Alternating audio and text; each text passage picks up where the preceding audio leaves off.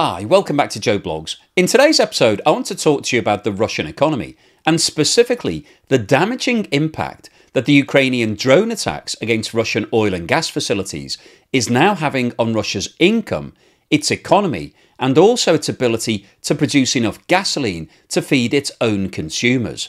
Over the course of the last six weeks, Ukraine has launched hundreds of drone attacks specifically targeting Russian oil refineries, and at least nine of those drones have successfully struck those refineries, causing fires to break out. And we're now hearing that two of those refineries have had to close down entirely. They're not producing any gasoline products at the moment. And what we're seeing now is Ukraine is ramping up its efforts to produce more and more drones.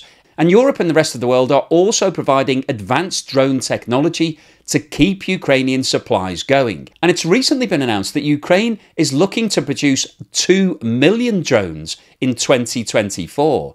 And the European Union is looking to supply a further 1 million drones. So that would mean a total of 3 million drones that Ukraine would have to launch attacks during the rest of 2024. And when you compare that to the number of strikes that they've made so far, there is a potential here for the Russian oil and gas facility to be thrown into absolute chaos. And obviously, that would have a hugely negative impact on the Russian economy. So, in today's video, we'll go through the details of the refineries that have been hit so far and which of them are currently out of action, and what the financial implications of that are for the Russian economy. We'll then talk about what's happening with Russian oil production, the cutbacks that Russia has announced so far, the outright ban on the export of all gasoline, and also the news now that we're hearing that Russia has started importing gasoline from Belarus We'll then go on to talk about what's going on with regards to the drone programs that Ukraine is operating, and also look at the announcements that other European countries have made recently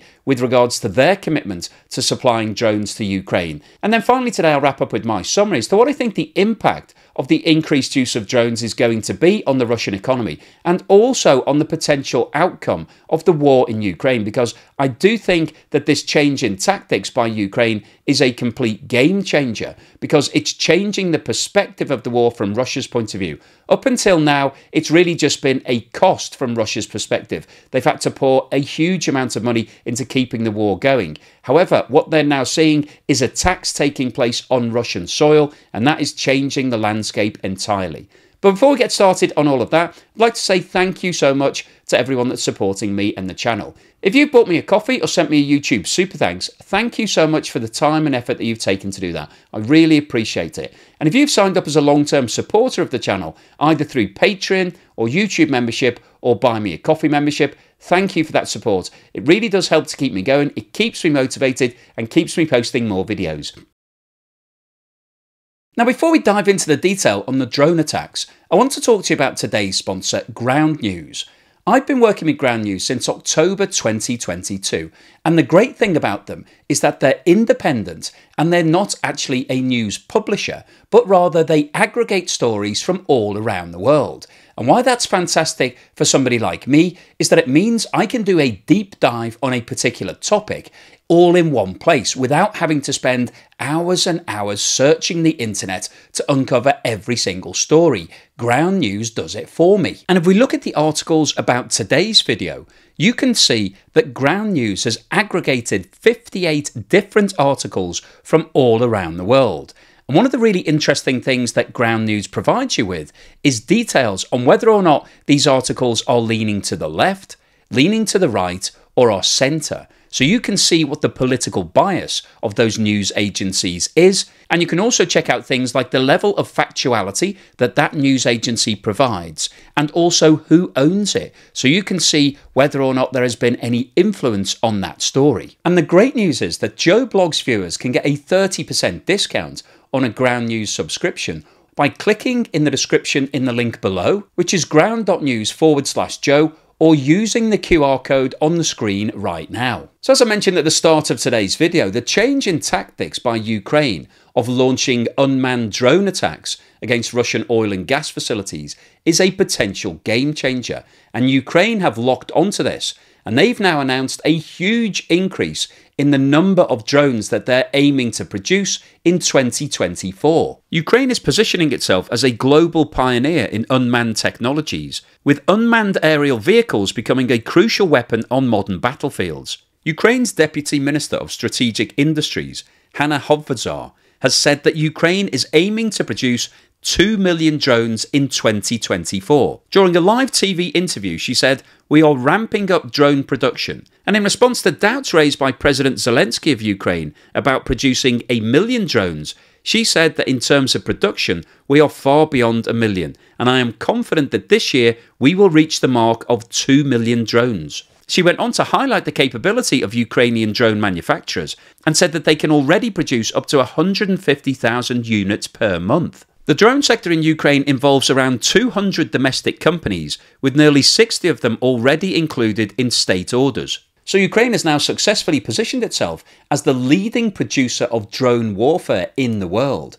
However, it's also being supported by a variety of European countries who are also looking to send over a million drones to the country in 2024. A Latvian led group of 10 countries is aiming to supply over 1 million drones by February 24, 2025, which would be the third anniversary of Russia's invasion of Ukraine. Latvia first announced that it would lead the coalition in January 24 and has now signed a letter of intent to build out the project with Ukraine, the Netherlands, Lithuania, Estonia, Sweden, Denmark, and Germany. By signing the letter of intent, countries have agreed to commit resources for manufacturing of drones and will deliver these drones and spare parts to Ukraine, where they will be tested, and the coalition will also train Ukrainian troops on how to use them and integrate them with other technologies, the statement said. And the UK government has recently announced an increased package of £325 million to produce at least 10,000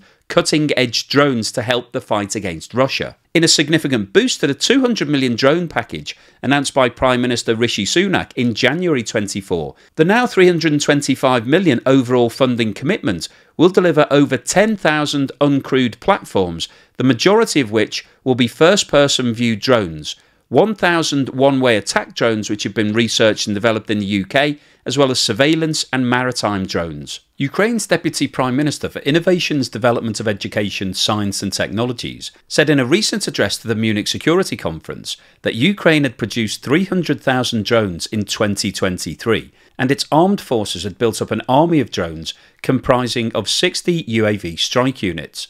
The strike force, he claimed, had destroyed 14,270 pieces of Russian land warfare equipment, including tanks, trucks, self propelled artillery, multiple launch rocket systems, and ammunition storage houses. He also said Ukraine is using a system called Neon, roughly defined as a predictive software tool used to collect cruise missile route data from an enemy attack that can then be used to reposition air defence systems to dodge future volleys.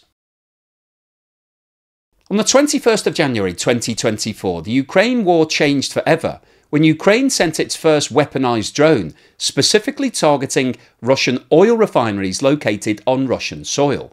Up until that point, the main threat to Russia's income from oil and gas were the sanctions that were applied by the West against Russia. And if you follow the channel, you'll know that we've talked about those sanctions at length. They have had a hugely damaging impact on Russia's income, but Russia has successfully managed to pivot and sell more oil specifically to India and China, which has partially offset some of the sales that it lost to the West. So Russia's oil industry is still carrying on and it's still bringing in tens of billions of dollars.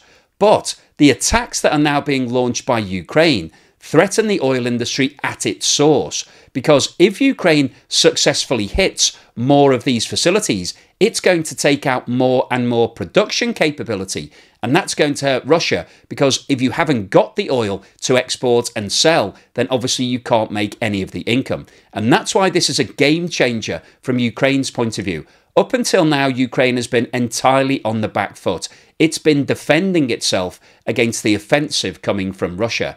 However, by launching these drones, it's now going onto the offensive itself and hitting Russia where it hurts in its pocket. This map shows some of Russia's major oil refineries and provides details of those that have been attacked so far. Now, in terms of determining exactly what's going on on this map, The dots represent the location of the oil refineries, and the circles that surround those dots indicates the percentage of Russia's total refinery output that that refinery relates to. And the circles that have been coloured in relate to those refineries that have been attacked by Ukrainian drones. And we've got a colour coding here.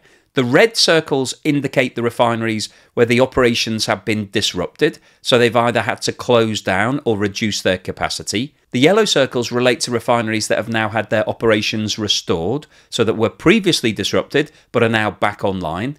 The blue circles relate to those refineries that were not damaged during the drone attacks, and the circles that don't have any colour in them obviously haven't been attacked at all yet. And what this shows is that in the period between the first attack on the 21st of January and the 17th of March, 11 oil refineries have been attacked. Seven of those refineries reported damage that affected their production, and of those, four of them are still disrupted in terms of the damage that's been inflicted. And I think what's really interesting when you look at the map is the geographic range of all of the different refineries that have come under attack. Ukraine has been spreading those attacks. It isn't focusing on one particular region, which obviously would make it slightly easier for Russia to be able to defend. Ukraine is actually looking to attack all of the refineries that are within striking distance. So basically, Russia doesn't know where the next attack is going to come into, and it's making it very difficult for Russia to come up with a plan to try to defend all of these facilities.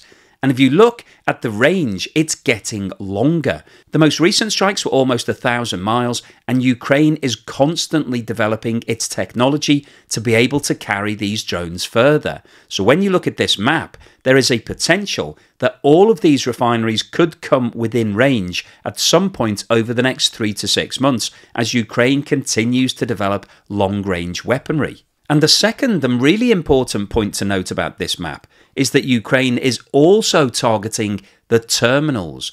So if you look at the Black Sea section at the bottom of the map, which is close to Crimea, which was annexed in 2014, Ukraine has targeted two refineries that are on the Black Sea coast.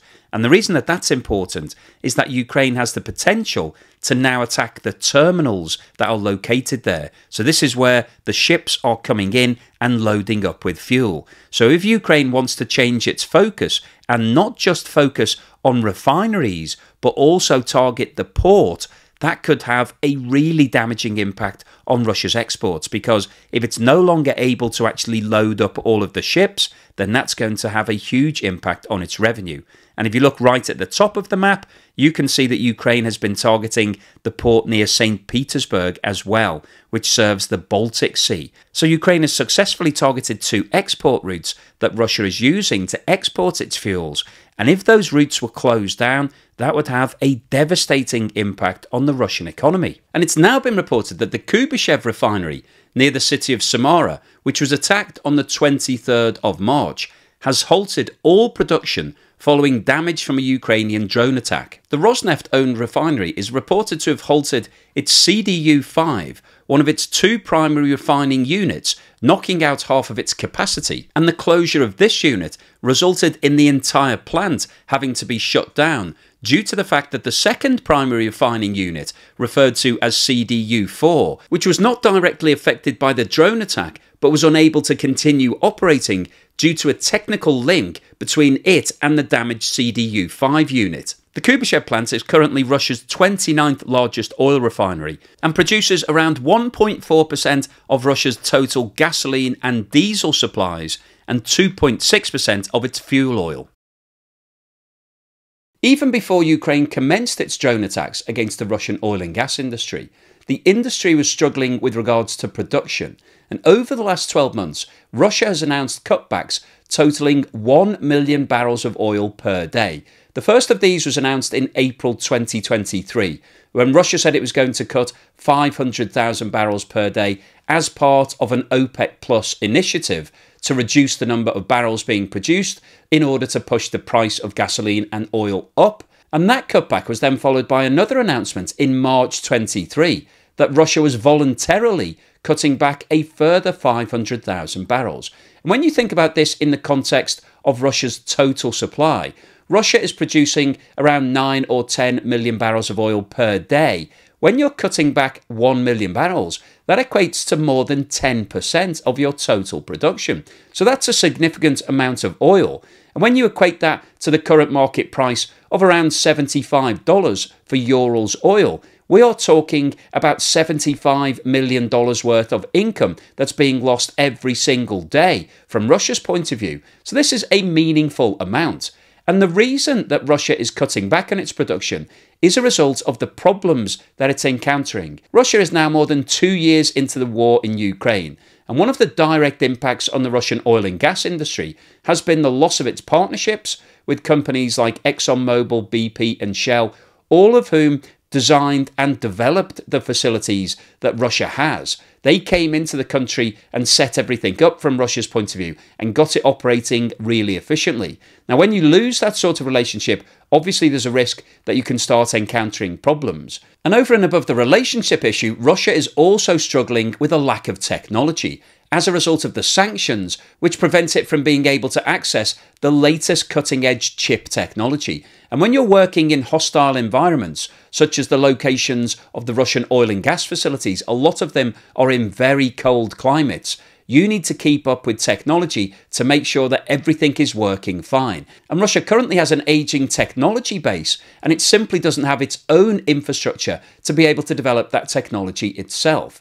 And as a result of all of these issues, Russia is now having to announce these cutbacks. And one of the major risks that Russia is now running is that if more of these drones get through and hit these facilities, it's going to cause complete chaos in the industry because the more damage that's inflicted by Ukraine, the more repairs that Russia is going to have to initiate. And that's going to cause them major issues when they don't have the partnerships or the technology.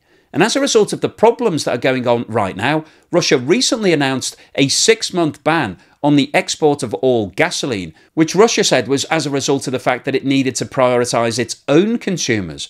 And it's now been announced that Russia is importing gasoline from its neighbour Belarus. Russia is reported to have increased gasoline imports from neighbouring Belarus in March to tackle the risk of shortages in its domestic market because of unscheduled repairs at Russian refineries after drone attacks. Usually, Russia is a net exporter of fuel and a supplier to international markets, but the disruption of Russian refining has forced oil companies to import. Russia normally imports very little fuel from Belarus, although it did turn to it between August and October 2023 when it faced fuel shortages that led to a rapid rise in gasoline prices and prompted another oil product export ban. In 2024, Russia has increased gasoline imports from Belarus, and in the first half of March, they reached almost 3,000 metric tonnes. In February, Russia imported 590 tonnes, while in January, there were no shipments at all from Belarus. Belarus only has two oil refineries the Naftan oil refinery in Novopolotsk and the Mozyr oil refinery. Each has a capacity of around 240,000 barrels per day, but they typically run at lower capacity, each refining around 180,000 barrels a day. It's unclear how much Belarus can increase production, and industry sources have said that they have technical bottlenecks. The refineries in Belarus use mostly Russian oil as a feedstock, while Russian oil companies, which have Belarusian subsidiaries, also buy gasoline from refineries to supply their Belarusian fuel stations. So, what's the summary and conclusion today? Well, I wanted to post this video because I think what's happening right now in terms of Ukraine's use of drones is completely changing the perspective of the war in Ukraine. In the first two years of the conflict, Ukraine was entirely on the back foot. Russia was the aggressor, and Ukraine was basically trying to get as much help and support and equipment to fend off the attacks as best it could. However, the recent change in the focus of the war to sending unmanned drones over Russian soil to attack Russian oil and gas facilities is having the biggest single impact out of anything Ukraine have done in the last two and a bit years. Because every time one of these drones gets through Russia's defences and strikes these oil refineries, it's causing fires to break out, it's causing chaos at the facility, and most importantly, it's causing damage, which is very difficult for Russia to repair. Because as we discussed earlier in the video, Russia no longer has any relationship with its trading partners, the companies that help them build those facilities. It's struggling in terms of access to technology, and it's also struggling in terms of access to capital. Because the reason that Russia teamed up with a lot of these multinationals was because they've got deep pockets and they could fund all of the build that Russia wanted them to go through. And as we talked about earlier in the video, the damage that's caused by these drone strikes isn't just being contained to that particular part of the refinery, because refineries work in a system. You have a process where things move through systematically. So if you damage one particular part of it, it can result in the entire plant closing down until you fix that problem. So these strikes are causing massive problems from Russia's point of view. And as we saw from the data, it's estimated that around 14% of Russia's total capability, which is around 900,000 barrels per day, has been affected as a result of the strikes that have taken place so far. And as these refineries produce high value end products, such as gasoline and diesel, we're talking about an average price per barrel of around $100. So when you're talking about 900,000 barrels per day at $100, that's $90 million worth of revenue that Russia is losing every single day. So, on an annualized basis, that's around $33 billion. But of course, an annual impact of 33 billion isn't the potential damage. If Ukraine is successful in delivering 3 million drones during 2024, 2 million that it's producing itself, and a million that being produced in the rest of Europe. That means that Ukraine could potentially launch up to 3 million attacks, which compares to around 2 or 300 that it's launched so far in 2024. So that is an incredible increase in the amount of these drone attacks. And even if a fraction of those drones are successful in hitting those targets, we could be talking about 45, 50, 60, 70, 80, 90, or even 100% of Russia's oil and gas refinery capabilities being affected by these strikes over the course of the next 12 months. And the financial impact of that on the Russian economy would be absolutely massive because, firstly, it would lose all of the income that it's earning from exporting all of those products, obviously. So that would hit Russia directly in the pocket. Secondly, there would be the knock on implication of not producing enough gasoline and diesel for its own economy. So, all of the businesses within Russia would also be affected. There would potentially be shortages within Russia, which would therefore have a knock on implication to all of those companies. They would then start producing less, and so their exports would also fall, their income would fall. That means that the taxes that they're paying in the Russian economy would also fall. We'd also see mass redundancy in terms of all of the people that are employed, both in the refining industry and the wider oil industry, and also all of those companies that are being affected by the shortages. So, this, in summary, would be an absolute nightmare from Russia's point of view. This could have the potential of closing down the Russian economy. So, the overall summary of today's video is that what we've seen over the last six weeks is that Ukraine is now targeting infrastructure located in Russia because it sees it as a much smarter option than trying to fight Russia on the battlefield. So far, around 9 or 10 of those drones have successfully landed. They've hit the facilities that they've been targeting. And those strikes have resulted in around 900,000 barrels of oil production being lost per day so far. If Ukraine is successful in ramping up its attacks and its strikes, then Russia is potentially looking at losing millions of barrels of oil production per day, which will have a monumental impact on Russia's income and its economy, and is the biggest chance that Ukraine has of bringing some sort of resolution to this war out of anything that it's come up with so far. So hopefully you've enjoyed today's video, you found it useful, informative and thought-provoking. If you've liked what I've said, then please give me a thumbs up. Thank you for watching this video all the way through to the end, and here's something to put a smile on your face.